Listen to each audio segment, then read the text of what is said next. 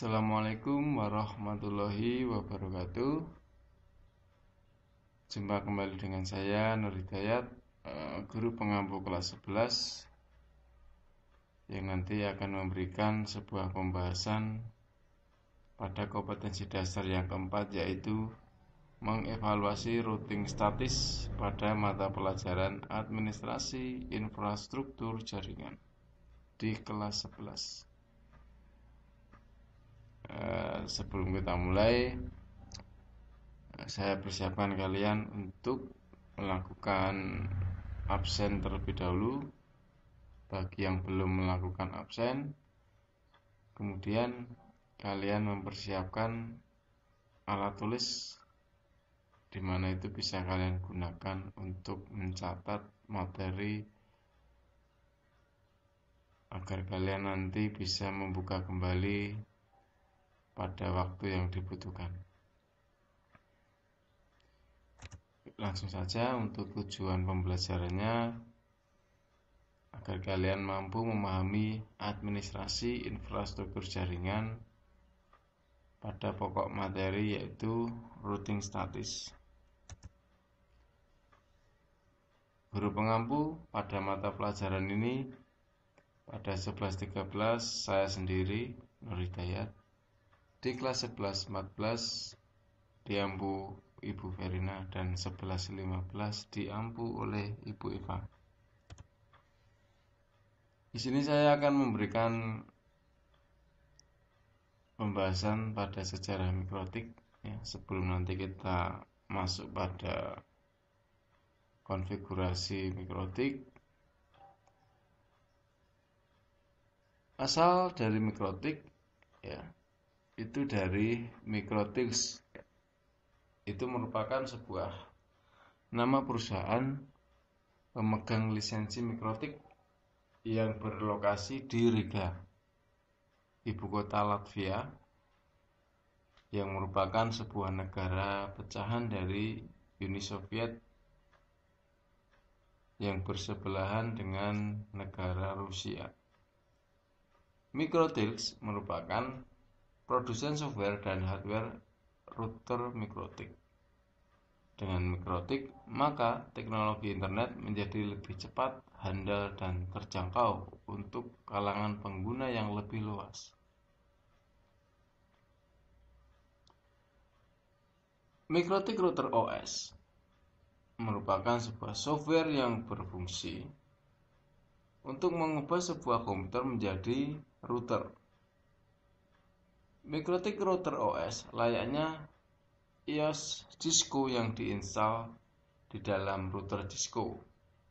Hanya saja, iOS Cisco, iOS Cisco tidak bisa diinstal dalam komputer kecuali menggunakan sebuah emulator seperti GNS3 dan Dynamics. Pada dasarnya router OS merupakan sebuah sistem operasi mikrotik router Bob yang berbasis kernel Linux versi 2.6.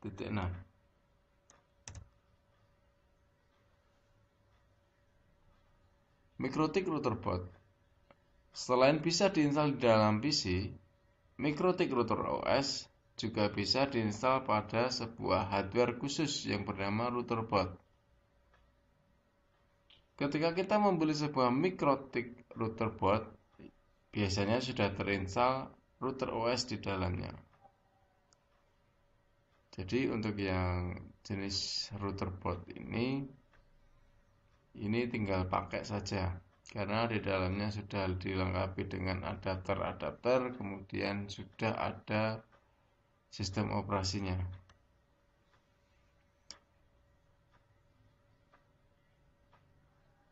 Kemudian tipe router board.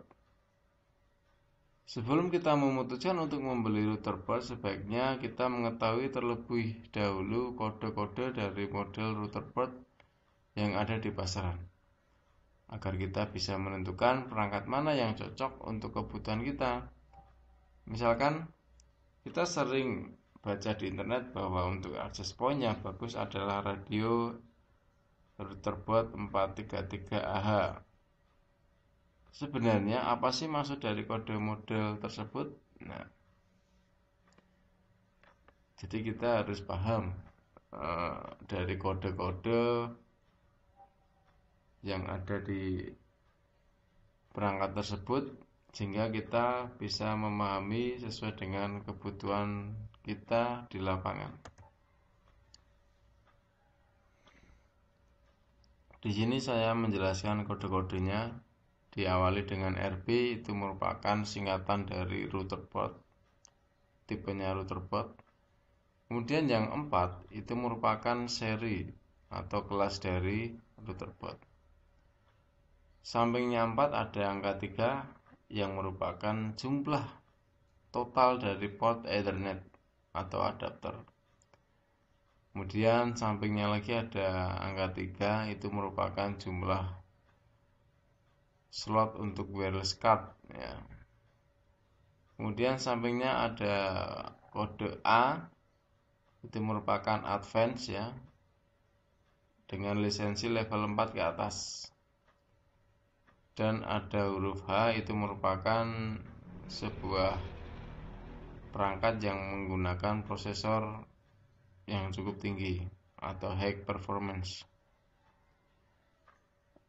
Ada kode-kode lainnya selain kode di atas itu ada U, itu maksudnya adalah USB yang sudah support dengan port USB. Ada A sama ya, advance. H high performance yang memiliki clock prosesor lebih tinggi. Kemudian R itu sudah dilengkapi dengan wireless card embedded dan G sudah dilengkapi dengan port Ethernet Gigabit. Tipe mini PCI ini juga termasuk jenis dari mikrotik ya yaitu suatu perangkat wireless yang berupa sebuah kartu ya, yang berfungsi sebagai koneksi tanpa kabel Biasanya mini PCI mikrotik menggunakan chipset Atheros. Adapun beberapa variannya. Yang pertama ada R52 di mana R52 itu mampu bekerja di frekuensi 5,8 dan 2,4 GHz. Yang kedua ada R52H di mana angka 5 itu dia mampu bekerja di frekuensi 5,8 dan 2,4 GHz juga. Sama untuk yang R, yang depannya R itu ada R5H, ada R52HN dan R5N. Yang depannya itu ada R itu merupakan sebuah kode yang menandakan Eh, perangkat wireless itu sendiri. Kemudian di situ ada kode H, itu artinya high power yang memiliki daya lebih besar, 350 MW dibandingkan dengan yang polos itu hanya memiliki 80 mW. Di situ ada kode N ya, itu artinya sudah kompatibel dengan arsitektur N yaitu 802.11N. Fitur dari mikrotik sebagai sebuah router, mikrotik memiliki fitur-fitur yang tidak kalah dengan router-router mahal seperti Cisco, ada beberapa fitur mikrotik. Yang pertama dari interface-nya fisik itu berupa Ethernet. Kemudian wireless-nya 900 MHz, 2,4 dan 5,8 GHz. Virtualnya bisa digunakan untuk bridging, bonding, VLAN, HWMP+, kemudian tunnelnya sudah support dengan EOIP, IPIP, PPTP, L2TP, MPLS dan BWP OE. Untuk routingnya sudah support juga untuk policy routing, bisa digunakan untuk static routing, dan dinamis routing yang menggunakan protokol OSPF, BGP, dan RIP. Sudah bisa digunakan untuk firewall juga untuk memfilter rules, nah, TTL, address list, dan melakukan translating IP address pada NAT ya. Sudah bisa untuk memanajemen bandwidth juga. Bisa juga untuk memberikan layanan service ya. Berupa hotspot untuk melakukan proxy bisa memberikan DHCP dan memberikan domain name system. Mikrotik juga bisa untuk melakukan manajemen user yaitu pada radius user manager, PPP user, dan accounting. Untuk tools lainnya bisa untuk grab, untuk monitor ya, monitor lalu lintas ada mapping, Torch, Wadox, dan Ping untuk menguji konektivitas. Demikian materi yang dapat saya sampaikan. Eh, tugas untuk kalian silahkan melakukan resume ya atau mencatat materi yang saya sampaikan tadi khususnya pada poin-poin penting untuk kalian catat ke dalam buku tulis.